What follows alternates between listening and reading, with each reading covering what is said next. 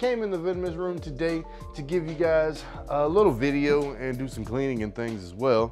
And I know it's been a while since I did a little five facts video, so I figured why not? Let's go ahead and roll it on out, man. So this is for fact number one, the world's largest species of rattlesnake and North America's largest venomous snake. And that is the Eastern Diamondback Rattlesnake or scientifically known as the Crotalus adamanteus. So I figured for the first part for the fact number one, we could pull the snake out, get a couple good shots of them, and get them put into our safety bucket because I do have to clean out some spicy meatballs in the cage over here as always.